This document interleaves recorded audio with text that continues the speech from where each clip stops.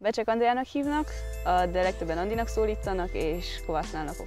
Az én szupererőm, hogyha tudom annak nevezni, az az, hogy szeretem mindig az, újat keresni a dolgokban, és mindig uh, olyan dolgokat előhozni, amiket lehet, hogy mások nem látnak meg. Konkrétan nagyon szeretek dolgozni a fiatalokkal, amivel nagyon érint, és valószínűleg közel van hozzám a téma.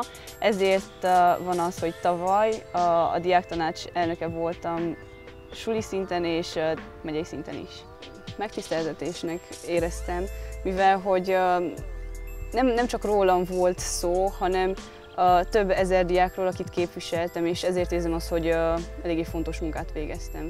A diákoknak azt üzenném, hogy ha van egy álmuk, van, van egy hobbiuk, vagy valami, ami vonza őket, akkor sose féljenek, és mindig adjanak bele mindent, amit csak lehet, hiszen így van garanciájuk rá, hogy, hogy ez tényleg sikerülni fog. És uh, legyen ez az A terv, és ne létezzen olyan, hogy B vagy C terv, hiszen hogyha van egy tartalék, akkor mindig uh, nem, nem fogunk eléggé koncentrálni az elsőre, szóval egy legyen, és az mert tartsatok ki.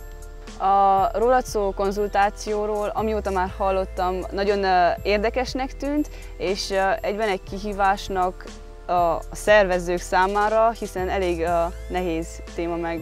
Na, de szerintem az a nagyon vagány benne, hogy nagyon jól sikerült úgymond rátapintani a lényegre, és hogy uh, tényleg sikerült érde, érde, egy érdekes valamit kihozni belőle. A téma, ami engem legtöbbet foglalkoztat, és amiben bele is szóltam, párszor az a diákok jogai inkább, hiszen elég valószínű, hogy ezzel elég sokat foglalkoztam, és úgy érzem, hogy közel áll hozzám, hiszen szerintem a fiatalság, meg a, leginkább a diákok az országnak a jövője a karaván következő állomásán levő diákoknak azt üzenném, hogy merjenek beleszólni, mondják ki azt, amit gondolnak, és ne próbáljanak szerkeszteni a válaszaikon, hiszen uh, így őszintén a legjobbak és legértelmesebbek és hasznosabbak.